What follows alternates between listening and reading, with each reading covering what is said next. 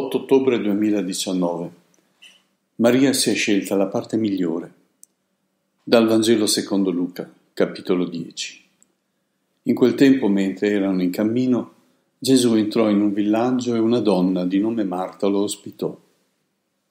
Ella aveva una sorella di nome Maria, la quale, seduta ai piedi del Signore, ascoltava la sua parola.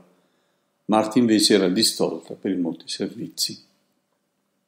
Allora si fece avanti e disse, Signore, non ti importa nulla che mia sorella mi abbia lasciata solo a servire? Dile dunque che mi aiuti. Ma il Signore le rispose, Marta, Marta, tu ti affanni e ti agiti per molte cose, ma di una cosa sola c'è bisogno. Maria ha scelto la parte migliore che non le sarà tolta. Tutti coloro che sono seguaci di Gesù Cristo vogliono servire il Signore.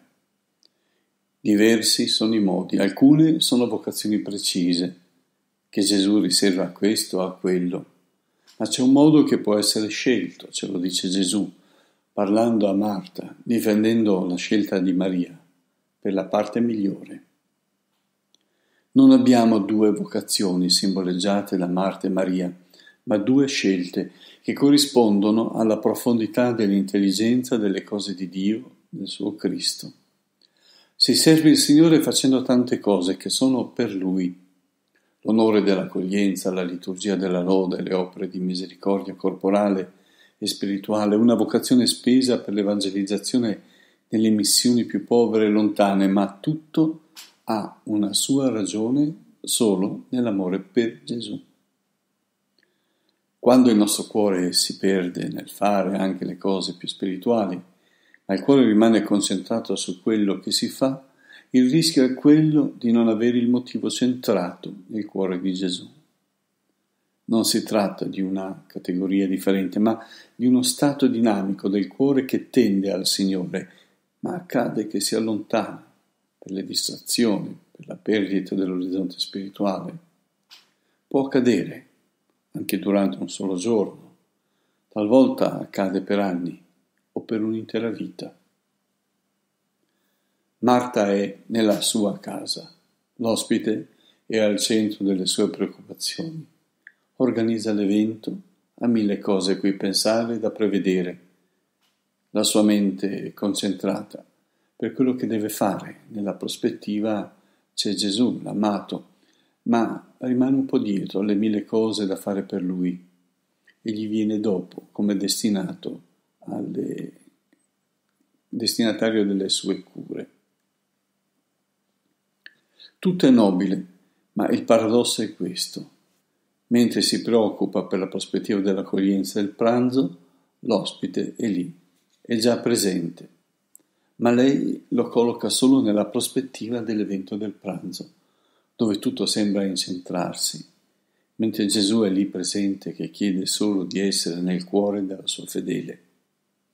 Se tutto fosse come nella parabola delle vergini, dove c'è attesa per il ritorno dello sposo, la trepidazione sarebbe per l'incontro con lui, il suo ingresso nella casa. Questo è l'evento. Gesù è già nella casa di Marta, ma ella lo mette in attesa, perché deve preparare mille cose.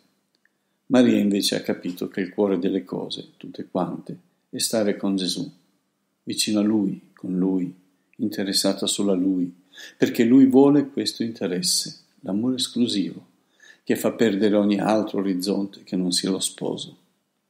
Maria ha scelto questo e Marta no. Marta avrebbe anche potuto fare ogni cosa con l'unione intima del suo cuore per Gesù, ma era preoccupata per tante cose e questa la rendeva distante. Non si tratta di una questione di carità contemplativa contrapposta a quella operativa, si tratta invece di essere incentrati nel cuore di Gesù, facendo tutto quello che dobbiamo fare, ma con l'unica preoccupazione di amarlo e di fare tutto per amore suo. Marta si era distratta sulla preoccupazione, mettendo in secondo piano il motivo principale per cui si stava preoccupando, Gesù, l'ospite della sua casa e del suo cuore. Si comprende che Marta è distratta dal centro, dal fatto che non comprende e rimprovera la sorella perché sta con Gesù. Doveva solo giubilare per il ritrovamento dell'amato, della sorella, ma Marta non ha questa carità di essere felice per la felicità della sorella.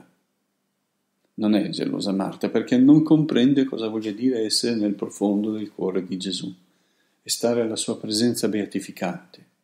Per questo la vorrebbe distrarre perché è convinta che il modo migliore per servire il Signore sia quello che sta facendo. Non si tratta di limiti imposto da una vocazione, ma di una scelta. Questo deve essere un monito per tutti noi. Il fine eterno della nostra esistenza si realizza qui sulla terra, in mezzo a mille incombenze, ma rimanendo profondamente ancorate al Signore, amando Lui sopra ogni cosa e facendo tutto per il suo amore, rimanendo alla sua presenza. Dio vi benedica.